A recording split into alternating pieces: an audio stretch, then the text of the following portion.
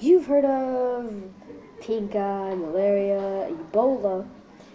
Well, I bet, I bet some of you all haven't heard of the Black Death, also known as the bubonic plague.